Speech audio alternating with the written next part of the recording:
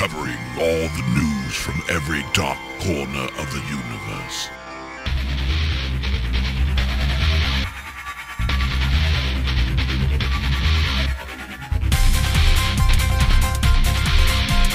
SliceofSci-Fi.com.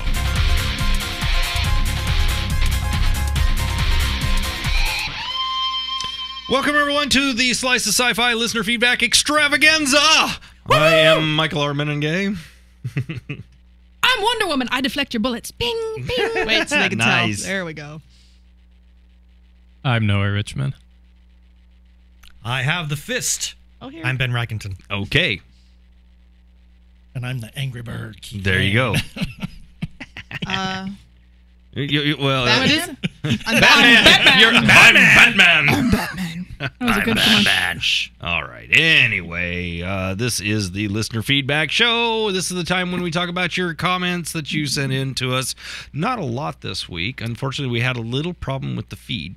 Sorry Oops. about that, folks. Uh-oh. Oops. Um, but uh, we have uh, re- since resolved that, so you should be able to catch up and everything. Of course, you can send in stuff by uh, calling the numbers 206 339 Trek. That's 206 339 8735. Or, of course, you can use our really cool iPhone app and send in audio and video. It doesn't have to be just video, folks. You can use that to actually send audio in too, by the way. Just saying. Like some of the people that are going go. to be. yeah. But anyway, let's dive into it. Yes, please.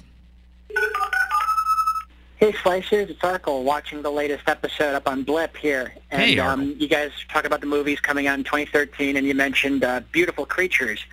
Uh, my mom and I actually saw a trailer for that when we went to see Les Mis. So did I. And um, yeah, it doesn't look all that good. It doesn't Um, look all that I, I bad will give either. The, um, the studio props for one thing, though. Excellent choice of using a Florence and the Machine song in the trailer. Oh, yeah. Yeah. I, I don't know. I mean, uh, we've said this many, many, many times on this show, and that is you cannot judge a movie, by, its trailer. trailers. No, you can't. Because Yeah. they, uh, because they make really great trailers, they make really crappy trailers, and it has nothing to do with the movie. Right. Yeah. They might have made it look like Twilight, but it may not be Twilight. and that was Exactly. Besides, awesome. besides, it has Emma Thompson Exactly. and Vi- Viola and Jer- Davis. And Jeremy Irons. Uh, Jeremy Irons, Fabulous actors. oh, yeah, Viola Davis. I forgot. Yeah. Hey, Slice is Mike from Des Moines, and um, I just wondered if there's any help for people that, when discussing movies, they see The Hobbit and Texas Chainsaw and automatically think of the Texas Hobbit Chainsaw Massacre. Awesome. I knew he was going there. Right? I kinda does do it does it involve too. trolls in a cookpot? That's where I go. There Butchering's easier with a chainsaw. Everything's easier with a chainsaw. You It's know, a tr- that's it's true. It, I it- love it is the trolls. It is the universal tool. You know, it gets things done. Hey, Slicers, it's Arkle calling in regarding uh, geeky holiday presents. Ah. Uh, my side of the family, with, where I'm at now, um, they do the Yule thing as opposed to the Christmas thing. But um, yeah, it was kind of light this year because you know 2012 has been rough financially for everybody. Uh, but uh, my mom and stepdad and little brother all got me uh, the ROD Blu-ray set, which Ooh. you know, I mean, I don't have a Blu-ray player, so I'll have to borrow Now have my, get one. my little brother's PS3 to watch them. But um, uh, yeah, it's the complete uh, Read or Die set, Okay, that's the thought it was. OVA and the TV series, which is That's kind of awesome cool. because I mean, Read or Die is my favorite manga. So yeah, that is particularly cool. I think it's a pretty good take, all in all. Blu-ray players are cheap. Alrighty. Yeah.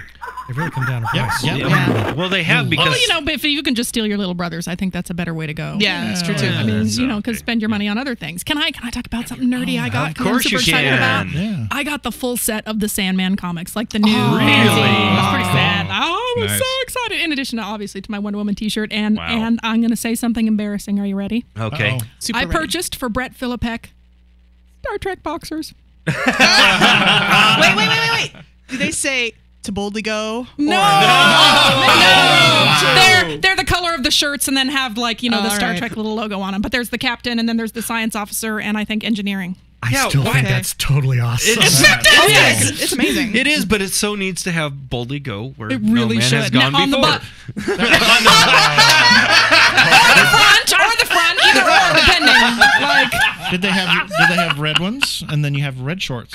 Red oh! shorts. Red shorts. Oh, that's Don't wear those underwear. You may get into a car accident and die because you're wearing the but red they're the perfect ones. Just to make sure they're clean. That's Okay, all. that's Right. it. I want royalties for anybody that comes up with this from this point on. We, we, we came up with way better than that. Oh man, we need our own store. We need our own Yeah. slice store, and then We do sell need the underwear. We should do that anyway. Well, we do have a slice store actually. Yeah, we, we have haven't spent we haven't spent a lot of time on it. No, I you can still buy T-shirts there, sort of. And, Yeah, uh, we so should do forth, but- more. Yeah, it's actually kiltwedgie.com is actually where, if it's still there.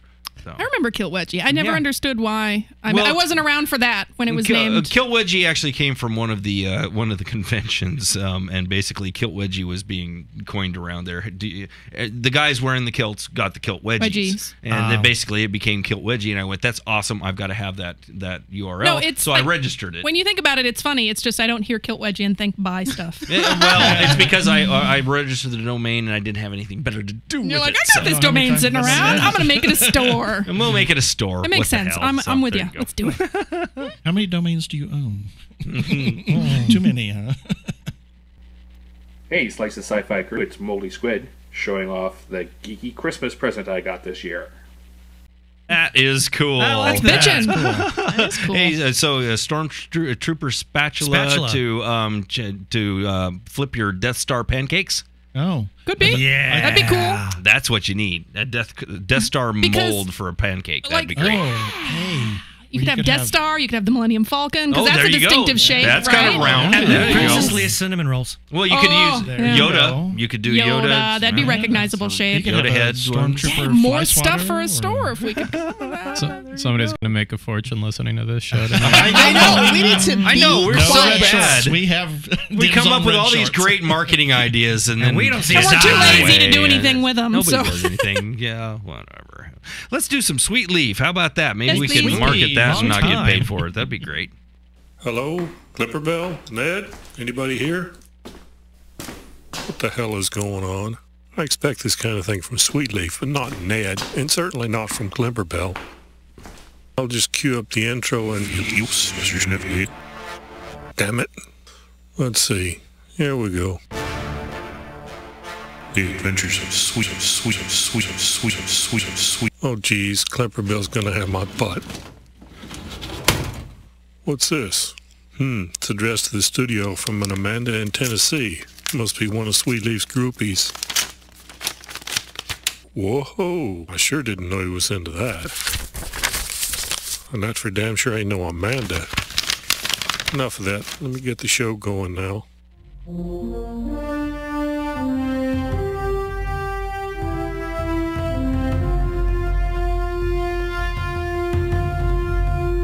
The Adventures of.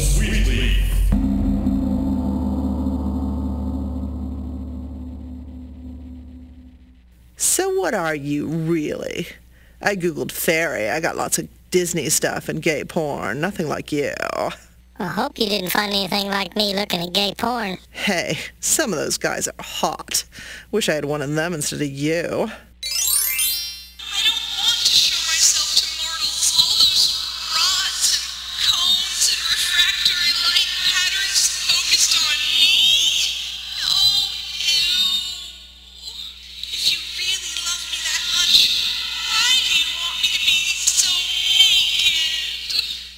This should do it. I just need to get Sweetleaf back into the lab and in a meditative trance. This new phasing coil should give quite good picture of his brain waves. I just hope that Sweetleaf's actually capable of meditation.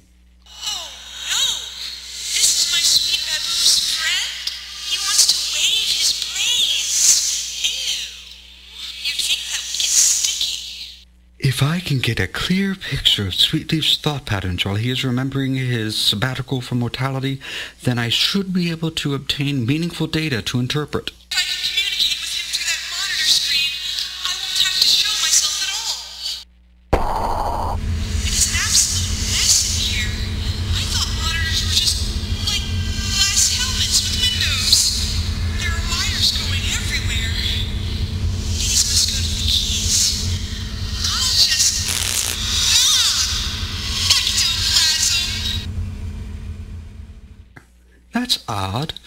Screen is full of G's.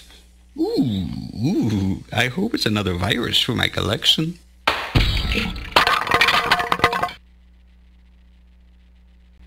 Hey Slicers, it's Brian from Slice of Sci-Fi TV, and I have the coolest new application to show you. It's the Slice of Sci-Fi app. Here's how it works. By selecting the Slice of Sci-Fi application, it brings you to the home page where you can select an episode, ask a frequently asked question, go to the Slice of Sci-Fi website, the Slice of Sci-Fi TV website, and the Slice of Sci-Fi XM Sirius satellite site, so you can read, watch, and listen to any of the episodes. Start off by selecting an episode.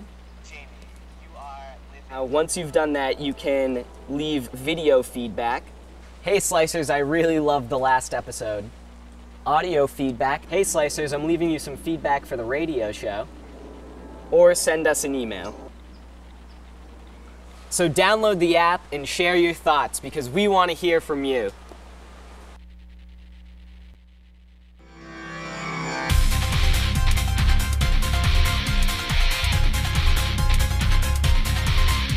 sliceofsci-fi.com. Hey, Slicers, it's Kevin Batchelder. Uh, talking about uh, folks looking for recommendations for sci-fi to watch.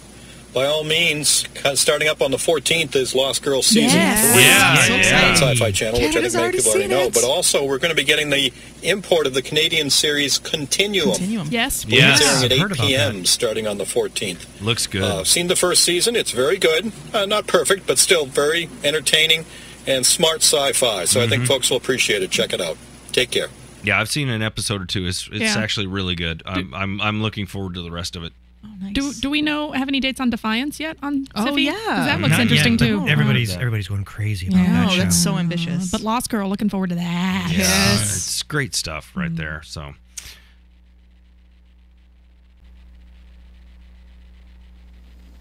Hey guys, it's Matt in Washington, D.C. No, uh, that's not me. That is my full size suit of Halo armor. It was the first thing my girlfriend saw when she arrived at my house for what turned out to be our third date. No, she did not run screaming into the streets. In fact, she stayed long enough for me to find out that she turned out to be a Whedon and Farscape fangirl. Anyway, we've been together ever since. And in conclusion, that nerd dating show can suck it. Rock and roll. is that an awesome suit of armor? That's great. What? Well I mean, done. wow, that some took some time to say the least. I was impressed. Love it. I bet Fox Leader is jealous. Oh, Oh, you're just or he's in asking for it. love. Mm. That could be too. Oh, with Matt? Oh dear. Yeah, why not? Hey guys, Christine from Michigan. I was listening to your discussion about The Hobbit, and you brought up Martin Freeman in Love Actually, and I have to correct you. He was not a porn star in Love Actually. He was a stand-in. Stand-in, stand in for the actors when they do the boring stuff like set up camera angles and lighting. he wasn't actually an actor at all, and that's why they were so blasé when they were doing those scenes because they weren't acting; they were just standing in. Also, I've never read The Hobbit or uh, Lord of the Rings or Heretic. The Silmarillion. I uh, Wow. just watched the movies, and I have to say, I thought The Hobbit was great. It was fun, and uh, same it didn't way, feel like there was obviously. any filler. Didn't feel like it was drawn out. It was just a fun movie, and I Mm-hmm. Mhm. really It was. felt I appreciated a lot of the characters, unlike that old cartoon, which was horrible. where all the dwarves were just Oh, carving the out of Rankin each Bass is tragic. I But like none of The the humans wear pants. That was just horrible. I mean, it, What? it, it, it was such a bastardization of the, Oh the my God. brilliant source material. And nobody really, I think people that never read the story did not realize how bad Horrible that really was Yeah. until they saw what Jackson did with it and got closer Yeah. to the source material. But that's a good perspective from somebody who hasn't read the books. Um, Yeah. Brett was the same way, and he enjoyed it. I think I think he thought it was a little bit slow in parts, Mhm. but um, it's fun. Hobbit is fun. It's a fun It film. is, Yes. absolutely.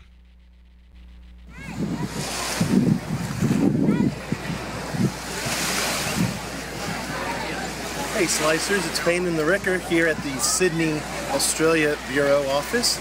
And along with me, Hello, hey, oh, no one was from Australia. See you right, mate. so we're here to send best wishes to our uh, main headquarters there in Phoenix. And as you can see, Australia in the sun wishes you the best. Happy New Year.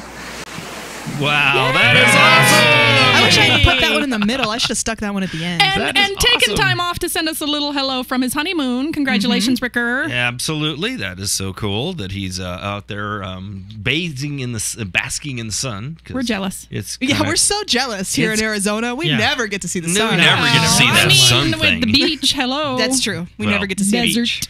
Yeah, well, that- We're the beach without the water. Yes, very good. I have boobs. That's different. That's different. Wow. Hey guys, Christine from Michigan again. I wanted to weigh in on this uh, brick and mortar bookstore going to hell thing Mm. because uh, I got a ten dollar gift card from Barnes and Noble, and and I got that for filling out a survey. So Ooh. I went Don't in to quick. pick up the newest Dresden book, Cold Days. Mm-hmm. And I went in there, found the book, and pulled out my smartphone and looked up the price on Amazon and found that even with ten dollars off, I would be paying four dollars Yeah. more Yeah. than I would at Amazon. And Exactly. Amazon wasn't giving me a discount. Right. I don't know what kind of overhead they've got at these brick and mortar stores, but charging an extra fourteen dollars for a book, you're gonna drive yourself into the ground. Uh-huh. And let me tell you, even though I drove myself to the store and I had a ten dollar gift card, I walked out without anything because I didn't know what was worth buying. And you know, it's it's becoming a sad tale out there. I mean, it, it's one of the things that we just kept going on and on and on and on about over on Dragon Page. Kind of the reason why we're not doing that show anymore because there's not a lot to do anymore. Um, but uh, it, it really is. I mean, we've just been slowly seeing the stepped demise of brick and mortar. But I I think there maybe is a spot, and I'm hoping for for your niche expert type stores. So Mhm. you know, we Right. we, we Oh, yeah. everybody used to have neighborhood bookstores, and then they had the big one. The giant ones came and drove the neighborhood bookstores away, and now online co- came and is driving the giant brick and mortar stores away. Mhm. But you still have places like the Poison Pen in Scottsdale, with Yeah. specializes in like Uh-huh. mystery and intrigue. Right. Because it's so more than your local bookstore books. that has people there that when you're looking for, hey, I like this book, and you know your people, and you go in there and they say, oh, if you like this, you'll really like this, and you talk, Right. and you know what I mean. Right. So it becomes and and not a only community that, thing, and, the and- used bookstores. I mean, Used bookstores are like that now, your the Bookmans, book yeah. nooks and so forth. Those the the used stores are actually getting a hand Yes. back in the game again, where the brick and mortars were basically driving them into non-existence. Now they're coming back with a resurgence Right. because now people have all these books All these cheap books they bought. that they bought, and now it's this cheap book trade that's being um, um, bandied about, and it's awesome. Yeah. I, I mean, this resurgence kind of cool. It's a stru- it's a restructuring of the corporate s um, um, business model is basically what we're seeing, and it's awesome. I, I, It's I'm interesting. liking it. Yeah, I wonder how it is for authors, though. I can't imagine it affects them yeah. a whole lot. It's, Well, it's just a I- different distribution model, really. I mean, it, it, it they as long as people are reading them, they don't care. It doesn't matter where the money's coming from. Yeah, they, they get their, I mean, get their I- I- fee right up right up front. Anyway, Right. so- well, No, it's not royalties. necessary. Not not Yeah. as much anymore. That's kind of going away. Um, that's a whole different conversation with the I- a publisher. lot Gee, I ought to do a mo- I ought to do a podcast about this, huh? Yeah. Oh gosh. Oh, mm. Let's let's get out of this before I, I make, a lot of, a make a lot of people unhappy here. Hey, Slice of Sci-Fi crew, it's Moldy Squid again.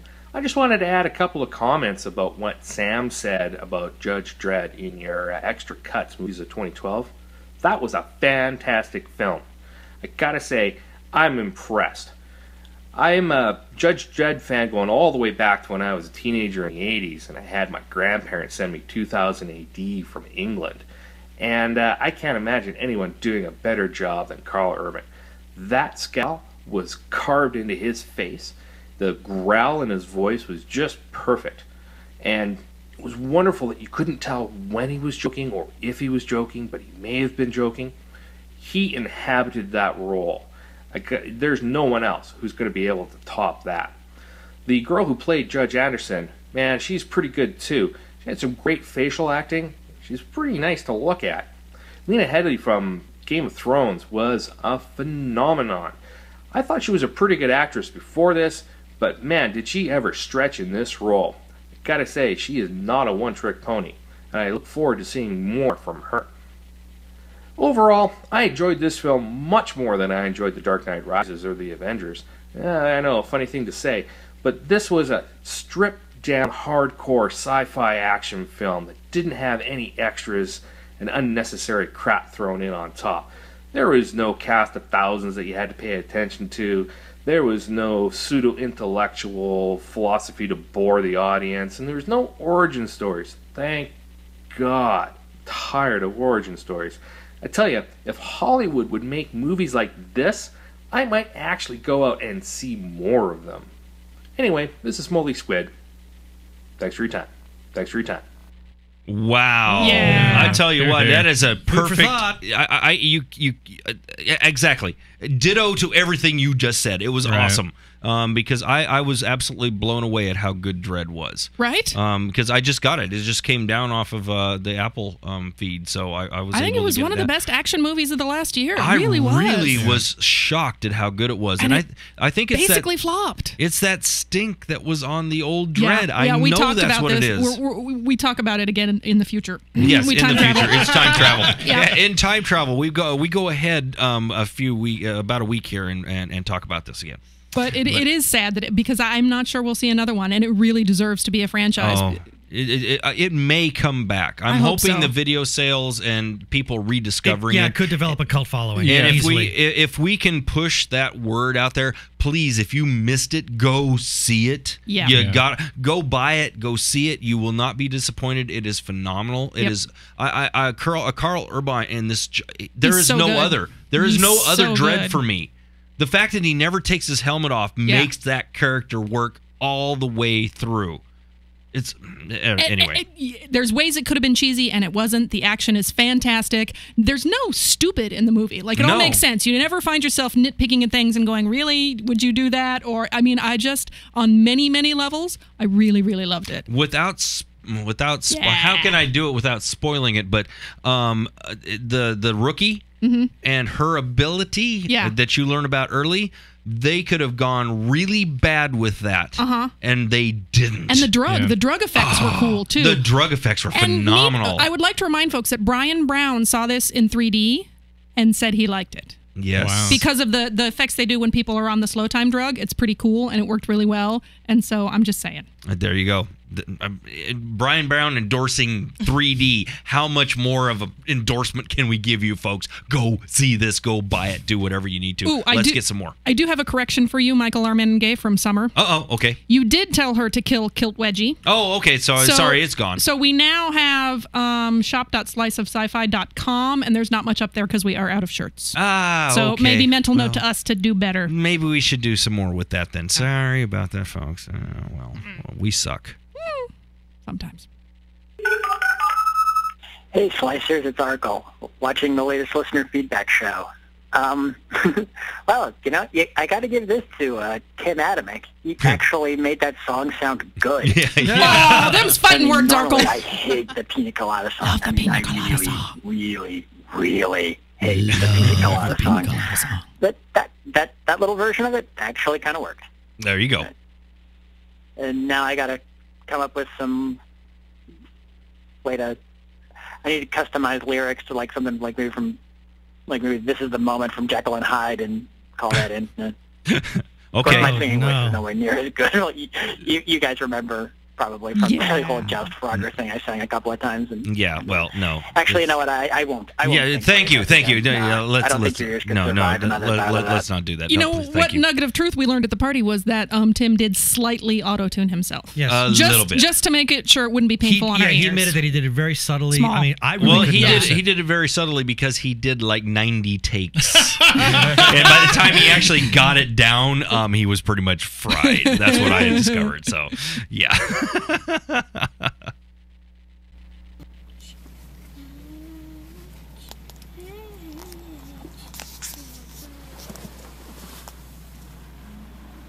What are you doing?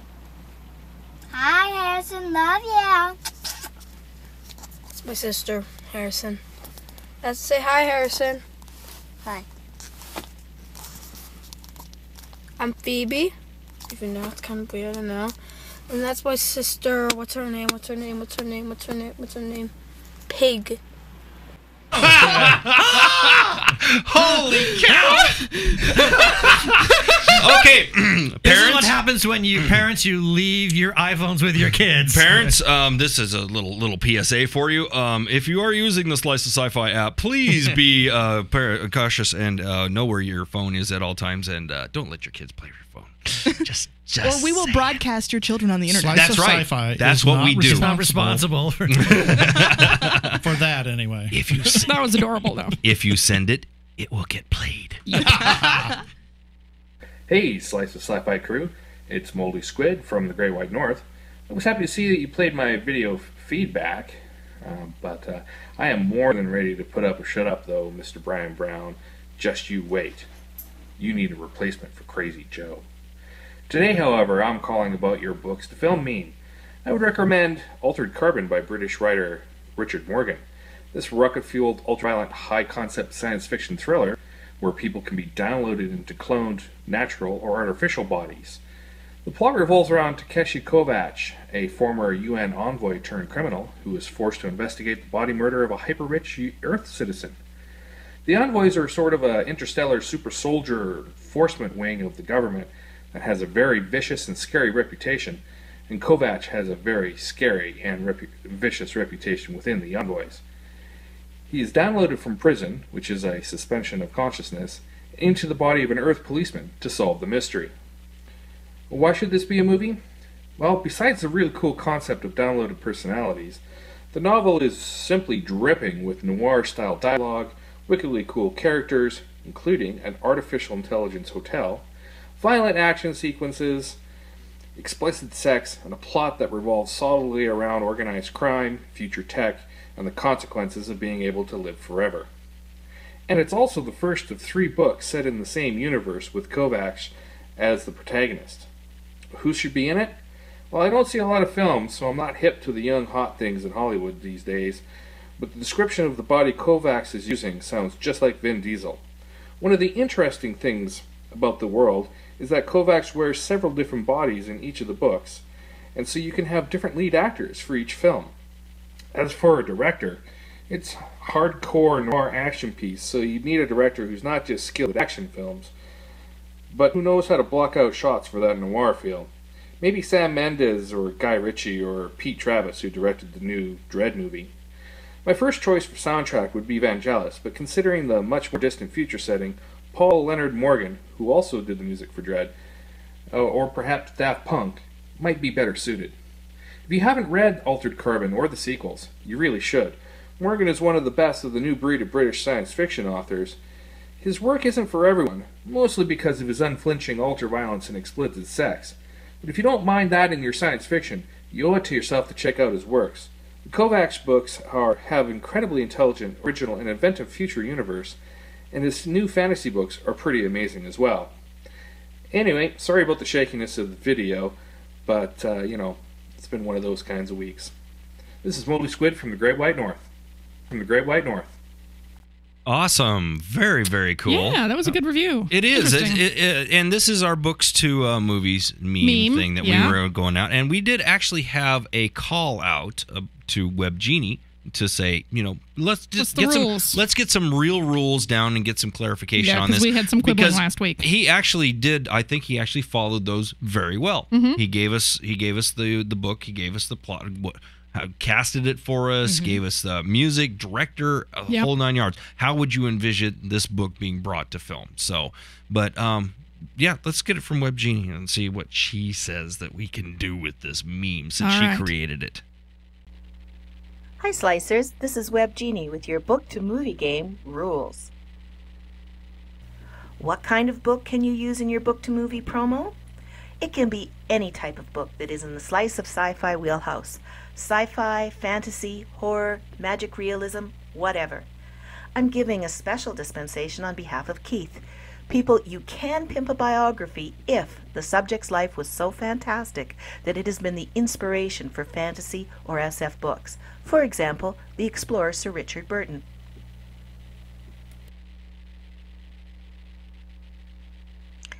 Like any good game, there are limits. Firstly, the author can't already have a story that's been made into a movie or TV series. However, if they have stuff that's still in options, that's okay. If the author has said they don't want their books filmed, then we don't use them. Lastly, you have to sell your idea. It's no fun unless you give us something to talk about. So things that you can do include casting the movie, telling us who the director should be, offer us a film location, imagine the soundtrack. Tell us why a director would want to film this novel, imagine a special effect, or give us a marketing tagline. Lastly, we have the Cloud Atlas category. If you're sad because you feel your beloved book can never be filmed, instead of promoting it, tell us why you think the book is unfilmable. Perhaps the special effects are not possible. Perhaps it's the point of view, or writing style, or plot, or the subject matter. That's it, Slicers. Have fun.